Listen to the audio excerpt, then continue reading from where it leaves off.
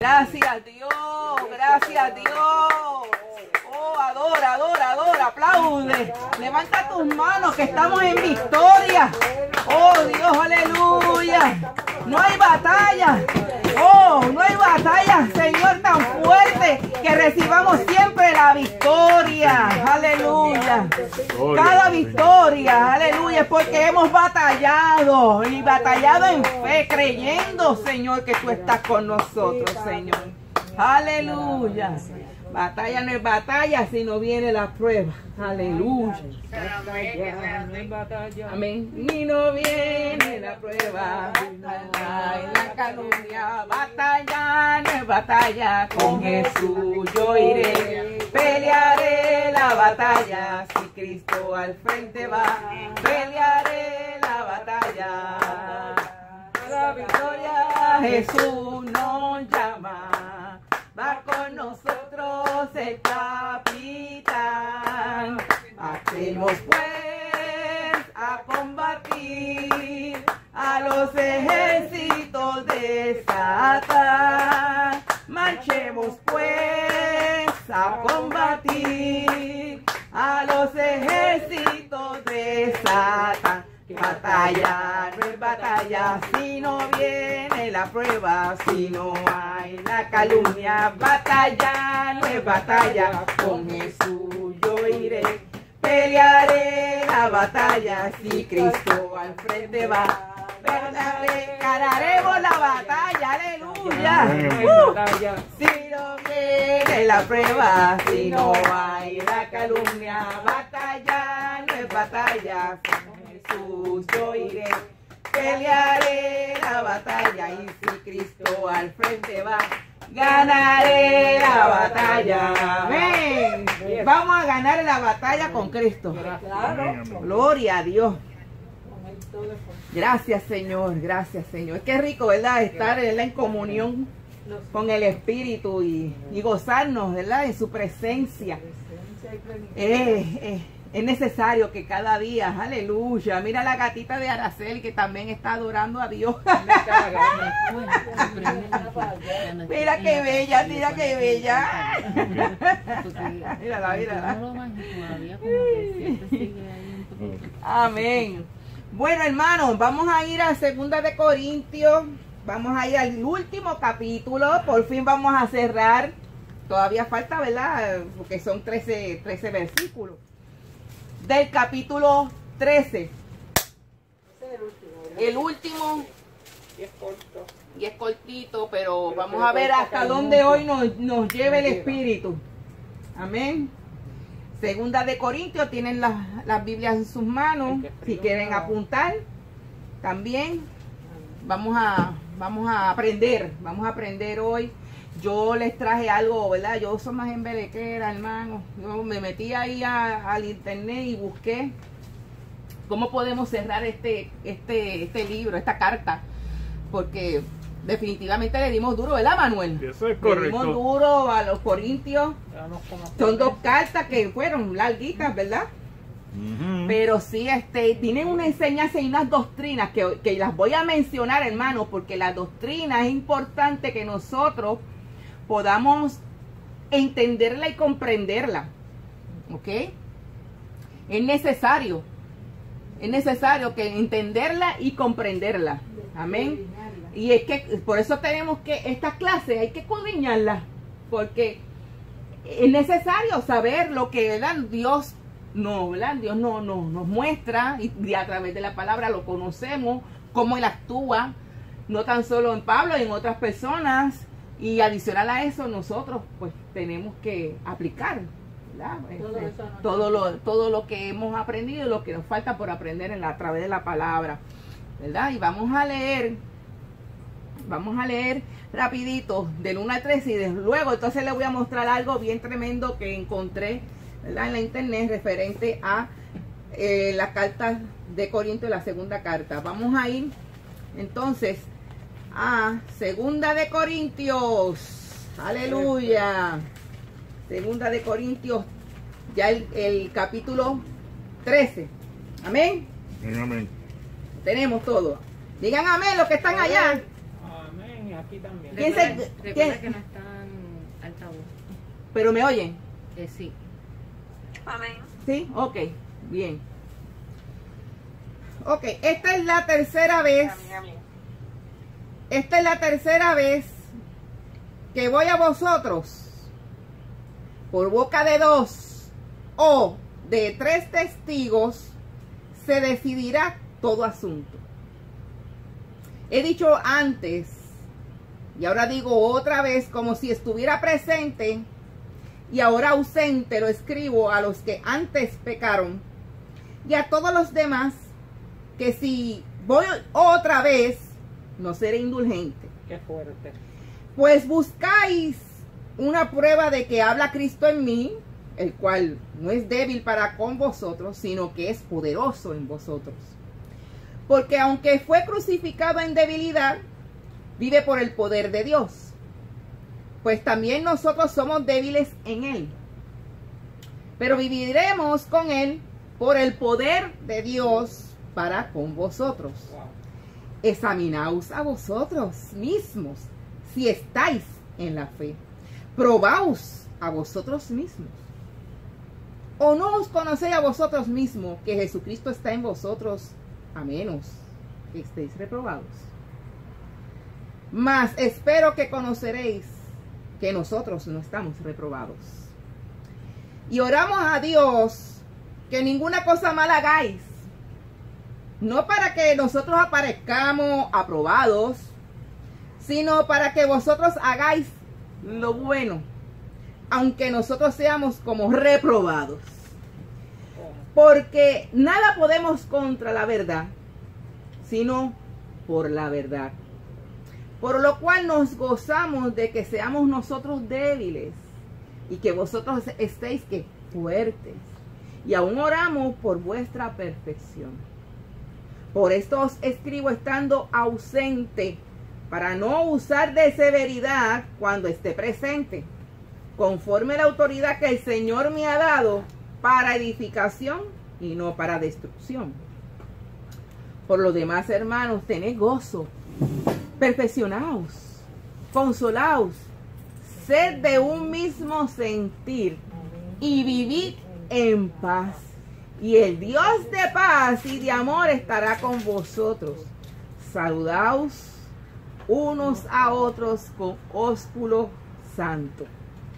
Todos los santos os saludan. La gracia del Señor Jesucristo, el amor de Dios y la comunión del Espíritu Santo sean con todos vosotros. Amén.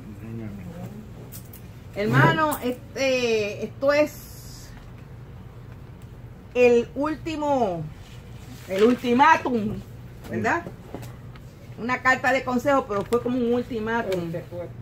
¿verdad? A los corintios. Yo quiero pues presentarles algo, yo espero que ustedes lo puedan eh, ver bien aquí, para que escuchen en 10 minutitos, nos va a coger, pero está tan, tan detallado. eh, cómo captura la atención y, aprendemos paso a paso de todo lo que los corintios eh, eh, ¿verdad? tuvieron ese desafío ¿verdad? Con- con el Evangelio de Cristo y cómo Pablo en la carta le demuestra el amor, demuestra su dominio propio, pero también demuestra su mansedumbre. Pero también tiene sus preocupaciones y era necesario como apóstol eh, supervisar las iglesias que él fundó. Y, y él tenía ¿verdad? la La autoridad autoridad. para hacerlo y que Dios se la dio. Amén. Vamos a ver lo que puedan eh, ¿verdad? escuchar, lo puedan escuchar. Amén. Vamos a ver si, eh, si lo pueden lograr. La segunda carta de Pablo a los Corintios. ¿Lo ven? Aunque se llama Segunda de Corintios en nuestras Biblias, hay muchas pistas en esta carta de que esta no es la segunda carta que Pablo escribió a la iglesia en la antigua Corinto. Pablo inició esta comunidad de Jesús en Corinto en uno de sus viajes misioneros hacía ya un tiempo. Puedes leer la historia en el libro de Hechos capítulo 18. Y después de continuar con su camino, Pablo recibió un reporte de que las cosas no estaban bien en esa iglesia. Así que él escribió la carta que conocemos como Primera de Corintios para corregir estos problemas. Y parece que muchos en la iglesia rechazaron la enseñanza de Pablo en esa carta y se rebelaron contra su autoridad. De manera que en esta carta aprendemos que Pablo había dado seguimiento a este asunto en persona, con lo que él llama una visita dolorosa, y después de esta envió una carta que nos dice fue escrita con angustia y lágrimas. Entonces, después de todas estas medidas, la mayoría de los corintios, no todos, se dieron cuenta de su arrogancia y le pidieron perdón a Pablo. Querían reconciliarse. Así que Pablo escribió esta carta para confirmarles su amor y compromiso. La carta fue diseñada con tres secciones principales, cada una tratando un tema distinto. De manera que Pablo primero aborda su reconciliación con los corintios. Después, en los capítulos 8 y 9, trata el tema de la generosidad olvidada. Y en los últimos capítulos, Pablo reta a los corintios que todavía lo rechazan. Profundicemos un poco y verás cómo se integra todo esto. Entonces, Pablo empieza agradeciendo al Dios de toda misericordia y consolación, quien le trajo paz y ánimo a él y a los corintios durante este tiempo de división y disputa. Él reconoce que las cosas han estado tensas desde su dolorosa visita y deja claro que los ha perdonado. Él quiere una relación abierta y honesta. Pero, en primer lugar, ¿por qué habían rechazado a Pablo? Bueno, más adelante en la carta descubrimos que los corintios habían menospreciado a Pablo como líder él era pobre, ganaba un minúsculo salario a través del trabajo manual, estaba en constante persecución y sufrimiento, frecuentemente no tenía hogar y para colmo no era un orador muy impresionante. Así que una vez que los corintios fueron expuestos a otros líderes cristianos más prósperos e impresionantes, empezaron a pensar menos de Pablo. De hecho, estaban avergonzados de él. Entonces Pablo primeramente responde mostrándoles que su exaltación de estos líderes, simplemente por su riqueza y elocuencia, es una traición a Jesús. Muestra un sistema de valores completamente distorsionado. El verdadero liderazgo cristiano, dice Pablo, no se trata del estatus o de la autopromoción. Pablo muestra cómo él y los otros apóstoles son esclavos cautivos del Rey Jesús, quien les está guiando en un desfile triunfal. El trabajo de Pablo no es ser impresionante, sino apuntar hacia la persona que sí lo es, Jesús. Él, entonces, hace alusión a una reciente demanda de los corintios de que les proveyera algunas cartas de recomendación para comprobar su autoridad y sus credenciales. Y esto le parece ridículo a Pablo. Su iglesia ni siquiera existiría si él no lo hubiera empezado. Y entonces les dice que ellos mismos son su prueba de liderazgo genuino. Ellos son su carta de recomendación. De manera brillante, cita a los profetas Jeremías y Ezequiel, diciendo que el Espíritu de Dios ha escrito su carta de recomendación en los corazones de ellos, como su pueblo del nuevo pacto. Los corintios no deberían necesitar más pruebas que esa. La mención del nuevo pacto lleva a Pablo a una larga comparación entre el antiguo pacto entre Dios e Israel mediado por Moisés y el nuevo pacto entre Dios y los corintios mediado por Jesús y el Espíritu Santo. El antiguo pacto, hecho en el monte Sinaí, fue verdaderamente glorioso. Hizo que Moisés mismo resplandeciera con la gloria de Dios. Pero esa gloria eventualmente se desvaneció, sin mencionar el hecho de que las leyes de ese pacto fueron ineficaces en transformar verdaderamente a Israel. Pero el nuevo pacto, en comparación, es todavía más glorioso, porque el Jesús resucitado es la mismísima gloria de Dios y vive para siempre, y es su espíritu el que ahora está transformando a su pueblo para ser más fiel, como Jesús mismo. Ahora, todo esto suena genial. Quiero decir, ¿quién no querría participar de la gloria de Dios mismo? Pero Pablo continúa mostrándoles cómo la paradoja de la cruz pone al revés las ideas de los corintios sobre la gloria y el éxito. Después de todo, la exaltación gloriosa de Jesús como rey tuvo lugar a través de su sufrimiento, ejecución y muerte. En la cruz, Jesús reveló la salvación de Dios murió por los pecados del mundo para reconciliar a las personas con Dios. Pero la cruz hace todavía más. Revela el carácter de Dios. Él es un ser de completa autoentrega y de amor sacrificial, quien busca el bienestar de los otros. La cruz también revela una nueva manera de vivir, una conforma de cruz. Y la meta de Pablo es que su vida y ministerio imiten la cruz. Así que aunque su carrera apostólica ha estado marcada por la humildad, el sufrimiento y la pobreza, todo fue para servir a los corintios. Cuando ellos desaprueban la pobreza y el sufrimiento de Pablo, también desaprueban a Jesús. La manera de vivir y de liderar de Pablo es en realidad la prueba de que él representa auténticamente al Jesús crucificado y resucitado. Pablo realmente quiere reconciliarse con los corintios, pero no va a permitir que esto se realice hasta que ellos hayan sido transformados y abracen esta paradoja de cabeza de la cruz. Después de esta apelación apasionada, Pablo continúa tratando el tema de la generosidad olvidada. Los cristianos judíos en Jerusalén habían caído en la pobreza a causa de una hambruna y Pablo estaba reuniendo dinero para ellos entre las nuevas iglesias que había fundado, formadas principalmente por no judíos. Todos enviaron un regalo de consuelo como símbolo de su unidad en Jesús el Mesías. Y así, muchas de sus iglesias estaban muy contentas de dar, pero los corintios, en medio de todo este conflicto con Pablo, no habían ahorrado para dicho regalo. Y para Pablo, esto no se trata solo de dinero. Es otro signo de que los corintios no han sido transformados por el Evangelio de Jesús, que es en su centro una historia de generosidad. Pablo dice, Ustedes conocen la gracia de nuestro Señor Jesucristo, que siendo rico, sin embargo, por amor a ustedes, se hizo pobre, para que por medio de su pobreza ustedes llegaran a ser ricos. Él les está contando la historia del Evangelio a través de metáforas financieras.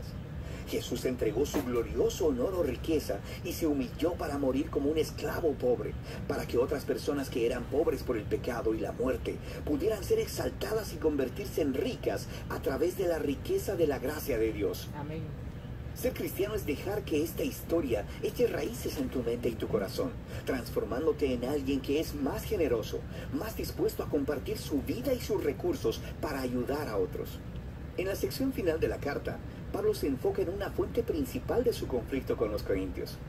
Ese grupo de líderes impresionantes a quienes él sarcásticamente llama superapóstoles.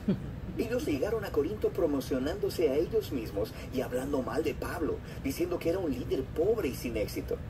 Arriesgándose a sonar como si se autopromocionara, Pablo les dice, ¿estos tipos quieren realmente comparar credenciales? Él podría sobrepasarles a todos ellos. ¿Son judíos expertos en la Biblia? Bueno, también Pablo. Él era también un fariseo. Se había memorizado toda la Biblia. ¿Quieren hablar de su conocimiento superior acerca de Jesús?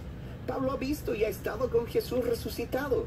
Incluso ha tenido visiones del trono celestial de Jesús. Pero lo más importante, Pablo ha dedicado su vida entera a la misión de Jesús. Ha sacrificado su comodidad y su estabilidad y nunca le pidió dinero a los corintios. A diferencia de los superapóstoles, quienes cobraban mucho, pero Pablo se ganaba su propio salario. Pablo dice que se niega a presumir de estos logros, porque estas no son cosas realmente importantes para el cristiano. En lugar de eso, él presumirá de lo imperfecto y débil que es, porque es en esas insuficiencias que él descubre el amor y la misericordia de Jesús. O como Jesús una vez le dijo a Pablo, mi gracia es suficiente para ti, mi poder se perfecciona en la debilidad. Pablo concluye la carta con una sobreadvertencia a los corintios sobre su necesidad de examinarse. Su desprecio hacia Pablo, su manera de vivir y su amor por esos superapóstoles, todo esto muestra que ellos no entienden en esencia quién es Jesús.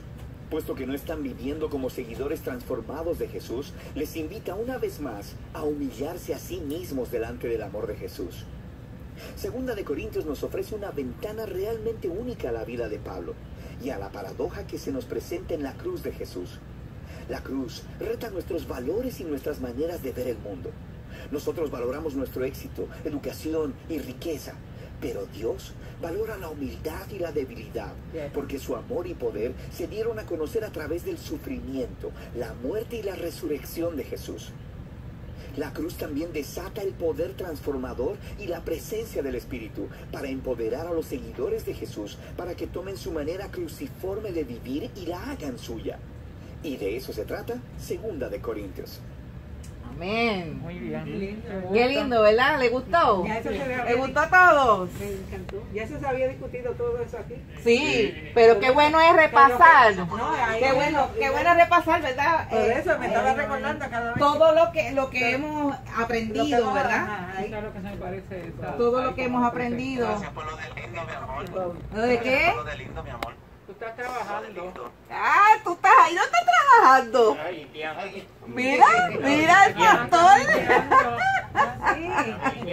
Yo el libro de las dispensaciones, era como así, algo así. Sí, sí.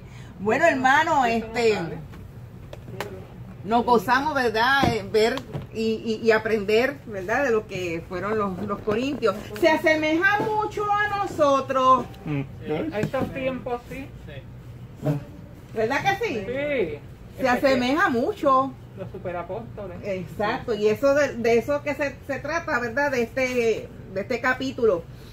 Lo importante aquí que, nos, que, que Pablo quería recalcarle a, a los, ¿verdad? A, los, a los apóstoles y a todos los hermanos en esa iglesia la autoridad que él tiene como apóstol, porque él es, ¿verdad? El que fundó esa iglesia y, y, y cierra, ¿verdad? Cierra este, diciendo que hay, hay, uno, hay unas doctrinas que no se le puede olvidar al- al- a los creyentes, ¿ok? Porque es que nos dejamos llevar, si, si no, no escudriñamos la palabra, ni tampoco nos, nos proponemos y nos disponemos a estudiar la palabra y saber cuál es la, la verdadera doctrina, pues entonces vamos a patinar en una de esas que andan por ahí y se levanta cualquier perplejo. ¡Uh! Oye, que se oye lindo. ¡Ey, qué chévere! Ese es, la, ese, ese es la- la- lo, que, lo que pretende este sistema, ¿verdad? De, de capturar con otras, como, como dijo él, otros valores. que son? ¿Qué son? Los valores que monetarios. Económico. Pero se le olvida de que Cristo dejó toda su gloria para venir aquí. Dejarlo todo, su, hermano, toda su gloria. Eso, eso es- vale más que todo lo que nosotros podemos decir que tiene valor terrenal. Para hacerse pobre, para hacerse qué? Como nosotros. ¿Ves? Y poder entonces, la reconciliación de Dios es importante, en- en- doctrinalmente es importante la reconciliación. O sea, que, que el sacrificio de Jesús renueva esa relación entre Dios y el hombre. Y es lo que quiere recalcar es eso. O sea, esta doctrina es importante. Todo ser humano tiene que reconciliarse con Dios. Porque estábamos en enemistad. ¿Ok? Segunda, segunda doctrina que también este, propone Pablo aquí para que lo, lo, lo, lo, lo- lo recalca, para que sepan. Propiciación sustitutoria de Cristo por los pecados. O sea, esa obra de Cristo en la cruz pagó la pena. Pa- pagó la pena de muerte que nos tocaba a nosotros, del pecado. Él la pagó. ¿Ok? Fue Cristo garantía de salvación para los creyentes. O sea que Dios nos adopta como hijos suyos a creyentes fieles. A que seamos creyentes fieles. Y el juicio, porque va a venir juicio. Esa es la justa respuesta de Dios. ¿Ok? Al pecado. Va a haber juicio. Va a haber juicio. Bien. En esta primera, ¿verdad? Dice, esta es la tercera vez. Lo dice ahí, esta es la tercera vez que voy a donde, a ustedes. Por boca de dos o tres testigos se decidirá todo asunto.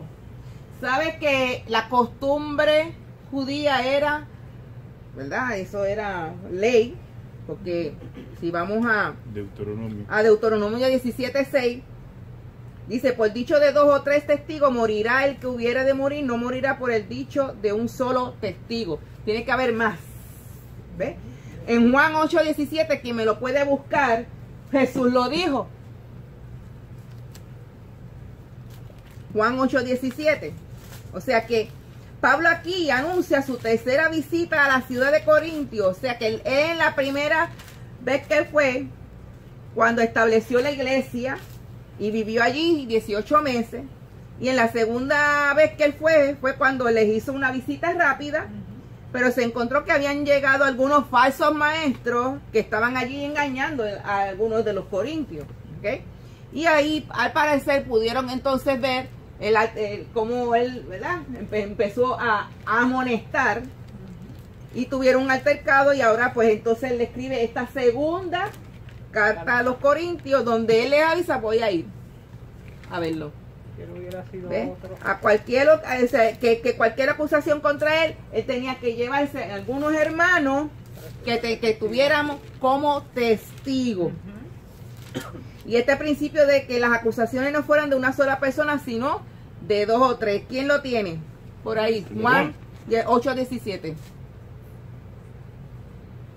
Y en vuestra ley está escrito que el testimonio de dos hombres es verdadero. y lo dijo Jesús Y dice también en Deuteronomio 19, 15, te dice, no se tomará en cuenta a un solo testigo contra ninguno en cualquier delito ni en cualquier pecado en relación con cualquier ofensa cometida. Solo por el testimonio de dos o tres testigos se mantendrá la acusación. Ahora le digo a los que están ustedes ahí. Esto. ¿Es necesario? Sí, claro ¿Es sí. necesario tener testigos para Seguro. poder entonces... ¿Por qué? Porque cualquiera puede decir lo que le da la gana. Yo puedo decir, no, a Tania llevaba unas, unas pantallas rojas y eran chiquitas. Y viene, mi, Manuel dice, no, yo soy testigo de que tus pantallas eran largas y eran color negra, son negras. Y yo soy testigo, yo creo que tú te equivocaste. En los judiciales es importante también llevar testigos. Si habían eso, robado, para si- eso mismo. Si se las habían robado. Ajá, iba a decir algo. Sí, que esto lo podemos comparar con hoy en día. Exacto. Que si se acuerdan, el, Tribunal Federal ahora, ahora te establece que en caso de un crimen, un asesinato, frente a jurado, la decisión del jurado tiene que ser unánime. Y como eso lo dictaminaron ahora, hay muchos casos para atrás donde el dictamen del jurado era 10 a 2, 11 a 1. Toda esa gente ahora está pidiendo juicio nuevo. Mm, Por eso Casella salió libre en lo que se da el juicio. Ahora, eso llora ante los ojos de Dios. Bueno, claro. Ajá. Eso es así. Perfecto. Pero viendo la ley que era justa, porque es una ley justa, es necesario tener los testigos para, para Él tiene que cualquier... tenerlo. Porque mira, hermano, Pablo tenía que, que, o sea, eh, él era su carta, punto. Eh, eh, ¿Por qué están diciendo y eso es calumnia, hermano? Calumnia, lo calumniaron. Por eso que hay testigos que son que también mienten. También sí, pero él lo llevó allá. Por eso. Él ve para, para ir a hablar con los que estaban allí. ¿verdad? Con el problema, con el problemón, porque habían personas que estaban como líderes también, porque hello, él, él, él- él lo supervisaba, pero también tenía líderes. Tenía líder allí. Es como decir que venga, ¿verdad? Nuestro obispo vea que si nosotros estamos fallando, estamos patinando, estamos dando mal- una, una doctrina falsa, él nos va a coger por la oreja. ¿Sí o no? Ujú. Eso es así. Porque tenemos a alguien que nos está supervisando, viendo que nosotros estamos dando buena, buena palabra, sana doctrina, estamos alimentando a la iglesia, ¿ven? Con la verdad, con la verdad. Pero tú dijiste algo al principio que va muy a tono con esto. Porque si conocemos la verdad, conocemos el Evangelio, conocemos quién es Cristo, ¿cómo va a llegar el momento en que Freire me, Freire me llame y me diga, mira, yo quiero que tú digas que yo estuve contigo ayer desde las 2 hasta las 4? Eso va. cuando yo ni siquiera lo vi, pero para él quedar bien, él quiere que yo diga, y que yo me ofrezca a decirle eso. Él está quedando bien, pero ¿quién está quedando mal? Yo. Ante Dios. Exactamente. Ante Dios, sería yo, el testigo falso. Pero entonces. ¿cuán fiel somos nosotros ante ese Dios? Amén. Ahí es donde, Exacto. David, donde nos agarran por el pescuezo suavecito y lo, te lo aprietan hasta que te ahoga. Amén. Amén. David decía que, que se juntaron contra mí testigos que, que, que respiraban crueldad. Exacto. Falso, Sí. Falso, que eran Sí, falsos. Eran falsos. Se habían puesto de acuerdo Exacto. para fastidiar a... Sí, lo- y lo perseguían, y después lo perseguían y lo vituperaban, o sea, eh, y déjeme decir, de estar en esos zapatos no es fácil. Mm. Pablo, ¿cómo se, hubiese sentido? Él era humano, ahora digo yo, pastora, él era humano, pero es por eso que le preocupaba a la gente que estaba allí, no por él. Mm. Porque Exacto. eso yo sé que él estaba sometido a Dios, A y, Dios. to- y esto era parte del, de, ¿verdad? del sufrimiento de las pruebas, ¿Qué iba a pasar? porque por, por, por la causa de Cristo. Exacto. Pero lo más que le preocupaba a Pablo era la salud espiritual de, ese- los de esos hermanos. Sí, eso es así. Él era bien celoso. Sí. Entonces, es como decirme que, que son hijos espirituales, que venga un otro por un sanano de allá afuera a, a decir cosas que, o sea, que, que venían a, a- enseñar Que comían los dulces. lo di- diferente a lo que Pablo estaba, este, el mensaje que Pablo estaba, Jugando, sí. ¿verdad? Este, enseñando. Y que esos hijos espirituales se, pusi- se pusieran rebeldes. Tanto los líderes. ¿eh? Y eso también, ¿verdad? Eh, eh, había que, que amonestarlo. Era un momento de que de confrontación para confrontarlo. Hermano, necesitamos confrontarnos también. Sí. Eh, que, que porque Dios lo que lo que necesita son personas líderes o, o- o- o hermanos en la fe o hijos eh, maduros en el Señor. Maduros en el Señor ¿ok? eso ñe, ñe, ñe, como dice el pastor se fue ah no él está ahí Eh, eso ñe, ñe, ñe, no, no, eh. No, dice la palabra que los violentos son los que ¿qué? arrebata. Arrebatan. arrebatarán el reino de los cielos. O sea, eh, eh, esto es de valientes, estos son de personas maduras, esto es para que, que lo que venga y que mira, somos frágiles, podemos tener debilidad, podemos errar y es necesario que nos corrijamos Y el- y y que nos corrijan. Y él lo, lo- los enfrentó de una forma, mira, búscate tú mismo, regístrate por dentro. Exacto, a eso vamos, a eso Ya vamos. mismito, llegamos ahí. Ok, la 2. Dice, he dicho antes y ahora digo otra vez como si estuviera presente y ahora ausente. Lo escribo a los que antes pecaron y a todos los demás que si voy a otra vez, no seré. Indulgente. ¿Y qué es indulgente? Yo lo busqué. Indulgente quiere decir que tiene una predisposición a perdonar o disculpar las penas o los errores. O sea que aquí es una persona que tolera, En- pero no va a tolerar. En Puerto Rico, en Puerto Rico, ay bendito. Ay, el bendito. Déjalo sí. pasar. Sí, le pasa la mano. Le va a pasar la mano. Pero mira. conceder gracia. Él no va a No. tolerar las, eh, todo este tipo de, de, de madeja de, de, de, de maraña para, para destruir la iglesia. no Nos faltó Mateo 18, No del 15 al Te voy 17. a tratarlo fuerte. Mateo 18, 15 Ah. al 17 Que te dice- dice. pero el de ese del, del versículo pasado. Del versículo sí, Ok, va- él va a leer Mateo 18, 15 al 17. 15 al 17. Por tanto, si tu hermano peca contra ti, ve y repréndele estando tú y él solos. Si te oyere, has ganado a tu hermano. Mas si no te oyere, toma aún contigo uno o dos para que en boca de dos o tres testigos conste toda palabra. Si no lo oyere a ellos, dilo a la iglesia. Y si no oyere la iglesia, tenle por gentil Y publicar. y publican. A Dios. La cuestión aquí no es destruir a ese hermano, no es destruirlo, es evitar que ese hermano cor- corrompa a la iglesia.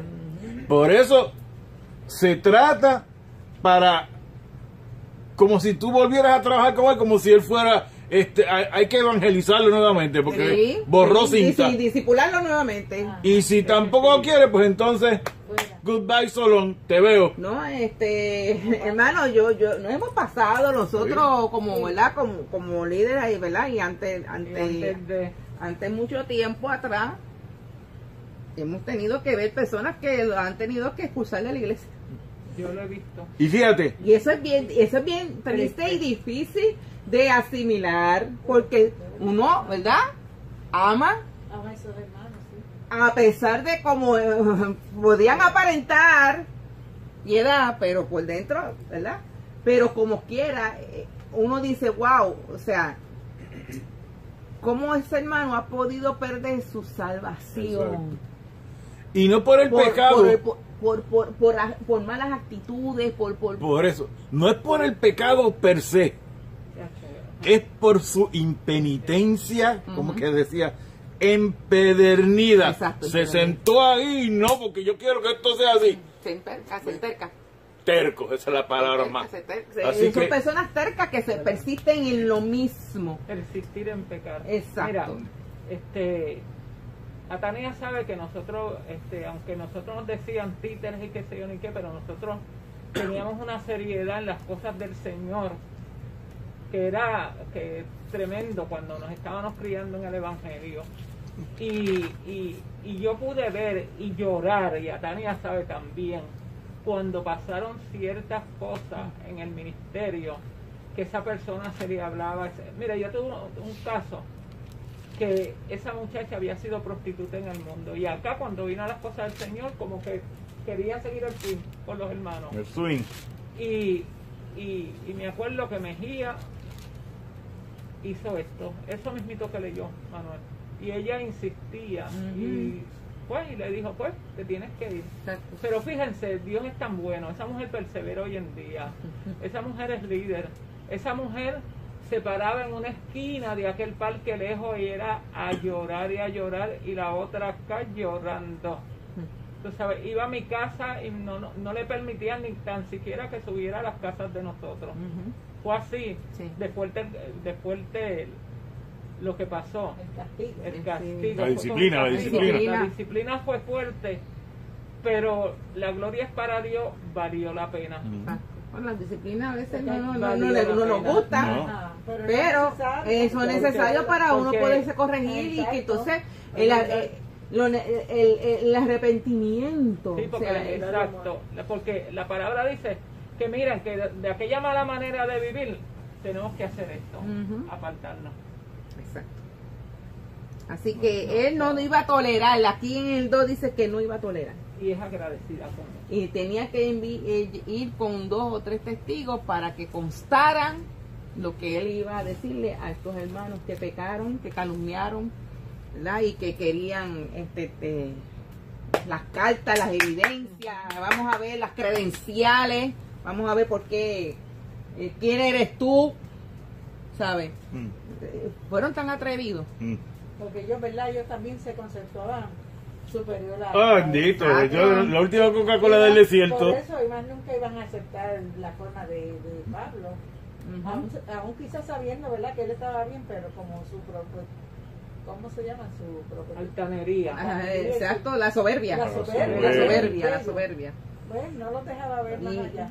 Y, y, en- y, y de verdad eh, es tan ay Dios mío eh, eh, chocar con personas así hermano es bien difícil el sistema nervioso se le se le, se le trabuca o se le trabuquea con uno porque definitivamente Sí, sí. los que son líderes y pastores que tenemos que trabajar y lidiar con este tipo de personas a, a mí me llegó un momento que yo tenía el estómago que que no yo vomitaba por las noches Pero lo interesante. vomitaba por, antes en la, en la, eh, cuando me levantaba por la noche y eso era vómito y vómito y porque yo tengo tanto vómito y era La por el mismo sen- el tensión del sentía sistema el sistema nervioso ya estaba ya que no podía resistir de tan de de, de, de estar la situa- de esta situación y, y- y de tolerar y, y, y- y ya llegar un momento de que no o sea no no no era saludable que estas personas ya no estuvieran Exacto. en esta iglesia. y hemos orado. Amén. Amén. Pero Pablo ya se los había advertido. Eso que dice en el, el versículo 2, se lo había advertido en el primer capítulo de 2 Corintios, versículo 23, cuando le dice, mas yo invoco a Dios por testigo sobre mi alma, que por ser indulgente con vosotros, no he pasado todavía por Corintios. O sea, él mismo, sabiendo cómo son, se había aguantado dándole tiempo A ver si cambiaba. para que se arrepintieran y arreglaran las cosas. En casa decían que le tiró el hilo. Ay, bendito. A ver hasta dónde llega. hasta dónde ellos llegaron. Y usted po- podía tener esa paciencia, esa tolerancia. Díganme ustedes, hermanos, ¿podían tener Ay, ustedes Dios. esa paciencia, María? Difícil. Hay que buscarla. Hay que buscarla. Ah, María, no te oigo, María. No, dudo que tuviera una paciencia así. Ah. Es fuerte. Sí, es fuerte, ¿verdad? Bien fuerte. Y en una posición de liderazgo es más, porque uno tiene que dar un ejemplo, porque uno le tiene la lupa Y puesta. eso, y eso que eres paz. Miren, hermano. Eso es lo más que duele. Hermano.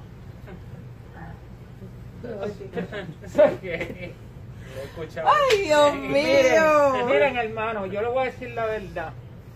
Como estamos hermanos aquí los otros días, no voy a decir, no voy a mencionar el santo, pero voy a mencionar la frase.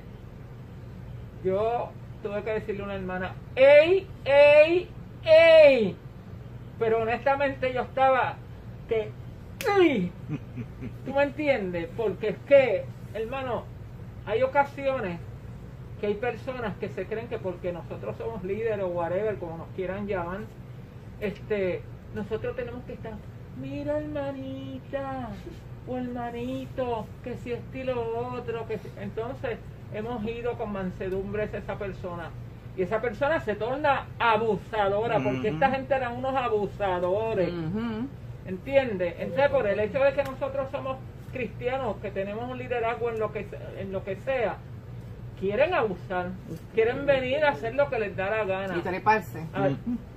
Entonces, yo sé la que digo a Tania, esto, cuando veía cositas aquí así, y yo sé que a veces uno no cae bien, tú sabes, por la forma, pero es la forma que nos criaron en el Señor. Amén.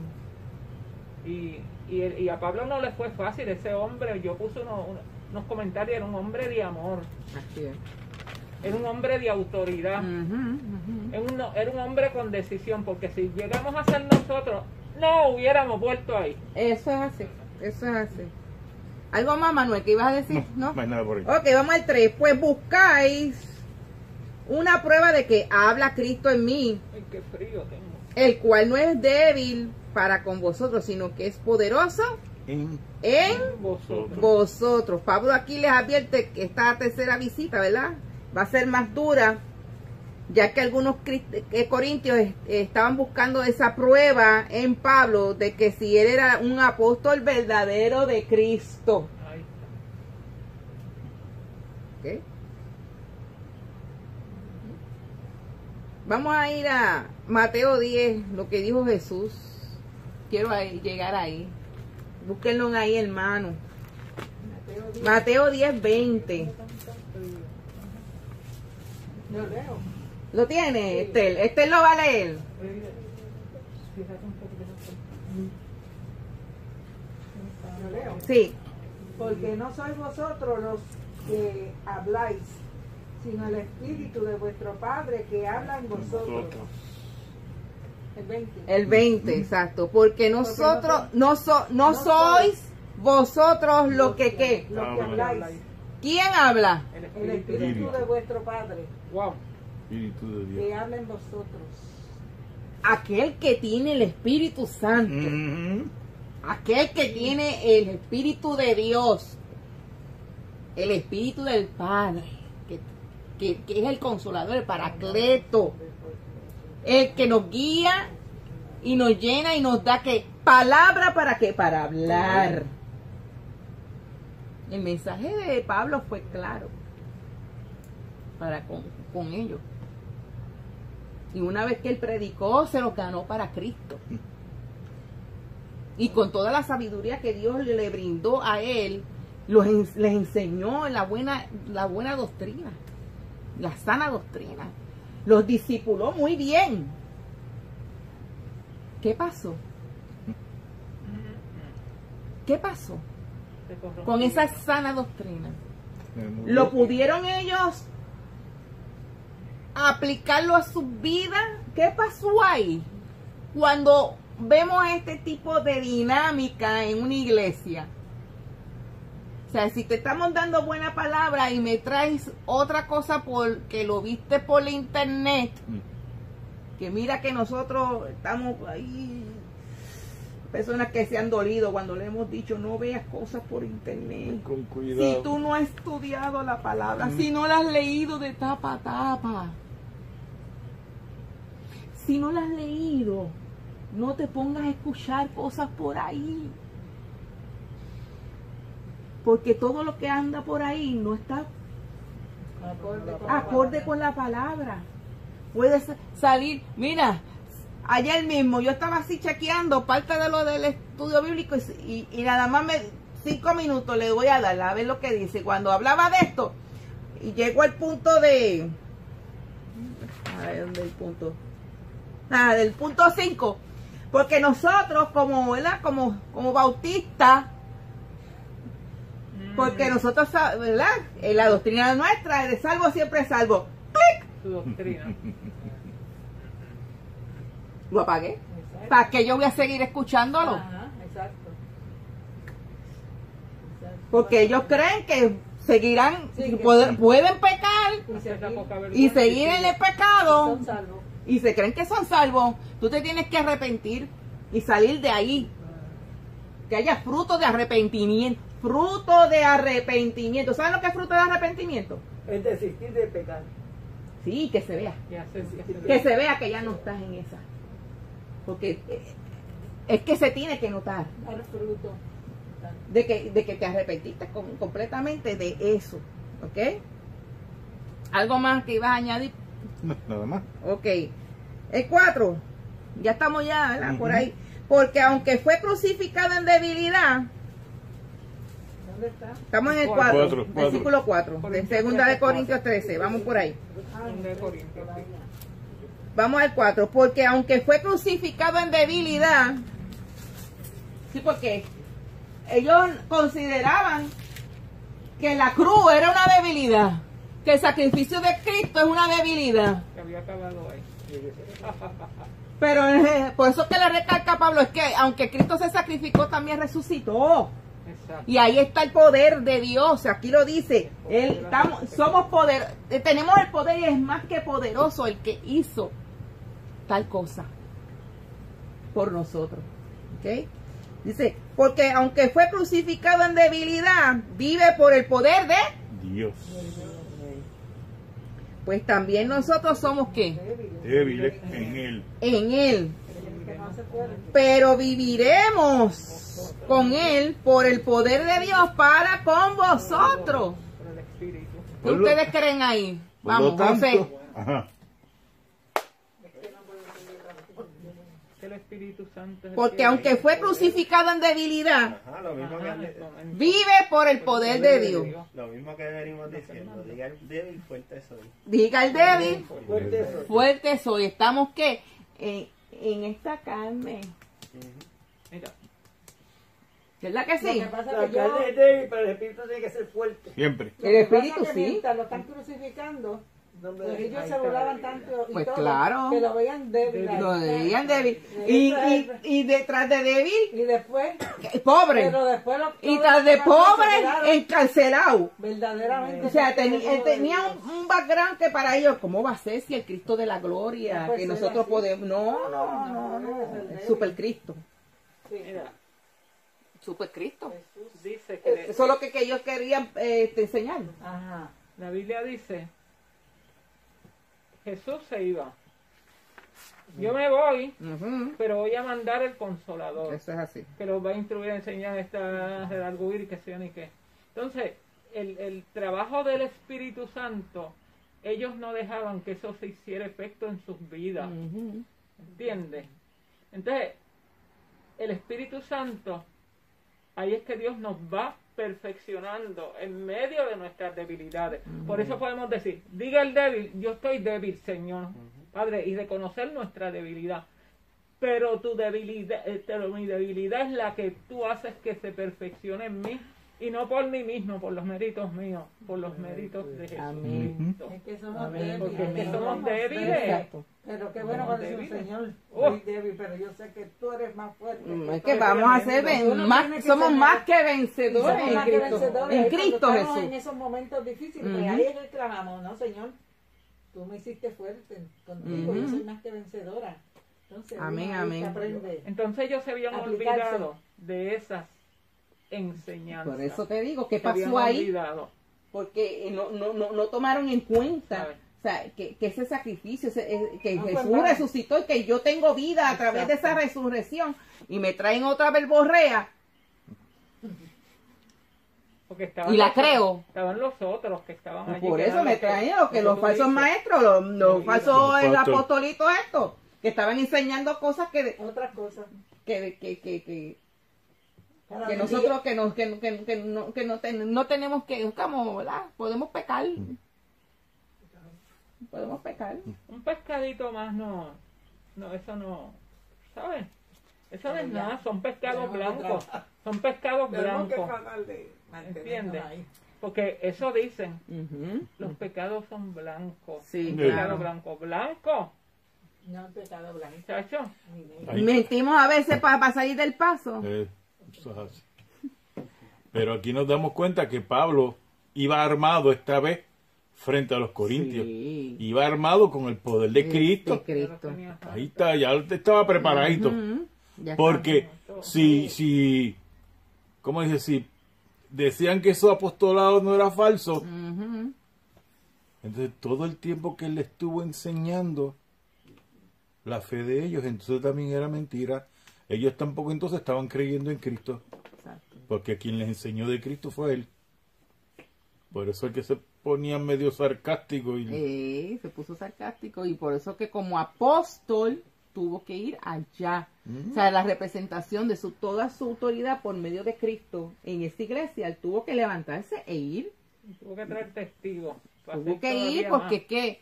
Ok, ¿ustedes quieren que, que, que yo demuestre mi apostolado? Voy a ir. Hazme cara a cara. Vamos a encararnos cara a cara. Y San se acabó. y que ustedes demuestren lo que ustedes dicen. Exactamente. Ahí donde lo. Eh, sí, entonces aquí en el 5, examinaos a vosotros mismos si estáis en la... Bien sarcástico, ¿verdad? Probaos a vosotros mismos. O no conocéis a vosotros mismos que Jesucristo está en vosotros, a menos que estéis reprobados, Wow, ahí, ahí les tiró, pero Le con tiró todo lo que tenía. duro. ¿verdad? Tiro ahí con todo lo Más espero que conoceréis que, que nosotros no estamos reprobados. Así que aquí los corintios estaban examinando a Pablo a ver si era un apóstol genuino, pero Pablo ahora les lleva, le pone que la, la bola en la cancha, en su cancha, ¿ok? Los lleva a que a- en el lugar de que se examinen ellos mismos, a ver si esa fe, ¿verdad? Si la fe de los corintios era que genuina. O sea que Pablo había sido el apóstol que les llevó esa fe, entonces el apóstol, pues es genuino. Era su padre ¿Verdad? espiritual. Él era su padre espiritual. ¿Y qué es examinarse? ¿Qué es examinarse? Araceli, ¿sabe lo que es a- examinarse, Araceli? No te oigo. Dale, dale al botón. El micrófono. Es tu microfonito. No te oigo. Déjame ver. Pues yo creo que ahí lo puedes cerrar, pero no lo puedes abrir. No, ¿verdad? No te oímos, ¿sabes, Araceli? Déjame ver que si hacemos algo aquí para No, que no, te oiga. No se puede abrir de ahí. ¿No? Lo puedes cerrar, pero no. Y allá, ¿le diste al botón de tu micrófono?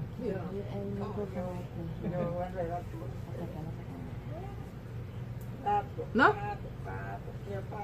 No te oigo, no te oigo, de verdad. Dale tú misma al micrófono de ella, dale tú misma desde ahí al micrófono de ella. A ver, a ver, habla. No, no, ella le tiene que dar el botón. Es el de ella, Félix, es el de ella. Es Es el del botón de ella que tiene que darle al micrófono. Está bien, tranquila, hermana. ¿Qué examinarse? Ari, habla. Adiós, Ari estaba ahí.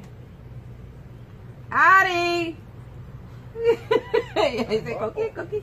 Tampoco, dale el botón. Decía. Tampoco se oye. Ese escucha papi. Sí, no, no. No te oigo. Tania, tú le puedes dar el botón tú misma desde ahí para que ella se oiga. No, para aprenderlo no. No, para aprenderlo no dice José. Para apagarlo sí, pero para aprenderlo no. Ok, tenemos dificultad aquí técnicamente. Vamos a darle a María, vamos, María. María. María, ya tú sabes cómo es. Dale, ahora. Examinarse no es examen a uno mismo. Examinar. Exacto, hacer un examen. ¿Para qué el examen? ¿Para qué el, el examen? Bueno, para, para uno aprobarse, para que uno aprobar este en, en qué en qué etapa está, Exacto, ¿en qué nivel está? en qué nivel En lo que, está. en lo que, en lo que has adquirido de conocimiento, a ver si estás bien, ¿verdad? Para, Ujú. ¿verdad?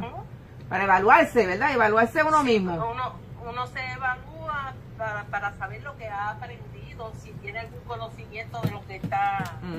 Si lo estamos O, haciendo o sea, bien yo o creo que, tener mal. el conocimiento, uno puede tener un conocimiento, vamos a decir que para tú expresarle a otras personas lo que tú estás aprendiendo, Exacto. porque lo que tú estás aprendiendo no te lo vas a quedar para ti mismo. Tú estás aprendiendo para tú comunicárselo a otras personas. Claro, claro, porque una vez que yo tenga ese conocimiento, ¿qué voy a hacer con él? Ujú, exacto. ¿Ok? Muy bien.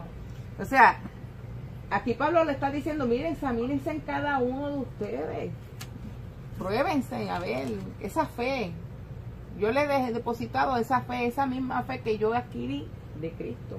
Mira, mírate en el espejo que Dios te tiene Amén. y mírate tú por dentro, cómo tú estás. Hay veces que yo me digo, María Pastora de Jesús, yo no sé si ustedes lo hacen. Estás mala ahí. María Pastora de Jesús, tranquila ahí. Ustedes, yo no sé si a ustedes les pasa. Sí, hay que hacerlo, que Pastora de. Jesús, metiste Todos la días, pata, la los días. y la metiste. ¿Qué es lo que te pasa? Mm. Estate quieta. Es más, No la, me dejes decir ni hacer. la, Ujú. la misma Porque, sí, exacto, la misma Biblia nos dice, para, estate quieta. ¿Sabe? Ahorita Tania contaba que se sentía este, ansiosa cuando pasa- pasaron ciertas cosas. Eso nos pasa a todos. Pero el Señor nos dice, estate quieto, examínate a ti mismo. ¿Qué está pasando contigo? ¿Dónde te encuentras? Sabía David, cuando fue el profeta, le tuvo que decir, ah, esto, esto y esto. Y él se tuvo que estar quieto. Espérate, yo me tiro la pata hasta hondo, Exacto. ¿sabes? Y es necesario, Es necesario. es, es necesario Es cada necesario. creyente examinarnos. Dice en el Salmo 139, 23, que lo dijo, ¿verdad? David, examíname, oh Dios, y conoce mi corazón, pruébame y conoce mis pensamientos. Le estamos pidiendo, Señor, aunque yo me tengo que examinar, pero yo también le pido al Espíritu, examíname también. Exacto. Porque yo quizás algo, algo he omitido o algo no, no recuerdo. Sí, porque Sí, y el Espíritu mismo. el mismo Espíritu te dice, es que, es que hiciste esto, ahí. hiciste esto. Ve, Conoce mi corazón, porque el que lo conoce, sabe, él escudriña nuestro corazón y nos prueba. ¿verdad? Prueba y nos conoce nuestros pensamientos. Cada día tenemos que hacer esto, ¿verdad? Cada día tenemos que hacer esto. Así que, redondeando, ¿verdad? Lo que hemos aprendido hoy, La ejecución de Pablo como apóstol emitiendo advertencias finales a esta iglesia, ya que habían personas que cuestionaban su mensaje, ya que apuntaban a transformar sus conductas, ¿verdad? El ministerio y el origen del mismo. La preocupación de Pablo era que rechazaban ese, esa doctrina, ese mensaje de Dios. Y vino con firmeza. Quería hablarle a, este- a- a esto con firmeza, ¿verdad? Con amor, porque eso es mansedumbre. Y ser enfático, no para destruir, sino para edificar. Porque hay que ser en eso entendido, sabio y entendido. No es para destruir, es para edificar. Pablo le preocupaba que las almas de ellos se, Se perdieran perdiera, exacto. de Quería que el crecimiento fuese desde el interior. lo más profundo. que esa conducta y esa actitud fuese que transformada y que haya que un bienestar, ¿verdad?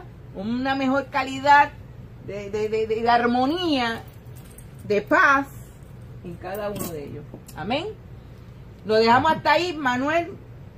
Lo puedes seguir de 7 en adelante. Muy o de 6 en adelante, como quieras. Mira. Darle. Para terminar este cantito, eh, en uno de los salmos dice, de lo profundo de mi ser yo clamo a ti, oye mi voz, estén tú atento a tus oídos a la voz de mi clamor. Amén. Si mis pecados tú mirares, ¿quién pudiera levantarse? Pero en ti hay perdón para que seas Reverenciado. O Aleluya. sea, que cuando tú tomas, wow, esto me, me, me coge y me tira al piso. Cuando tú tomas esa actitud de tu ir delante del Padre, sumiso, y te humillas delante de Él, en Él hay perdón. Y le damos honra y gloria y reverencia. Así es. Bueno, pues hermanos, los que están conectados con nosotros, gracias. Desde las 7 estaban algunos, ¿verdad? Conectados, pero saben que el estudio es de 7 y media a 8 y media porque tenemos que, ¿verdad? Cumplir. Cumplir con el mandato, ¿verdad? Del Del gobierno y cerrar hasta aquí para irnos a nuestras casas tempranito.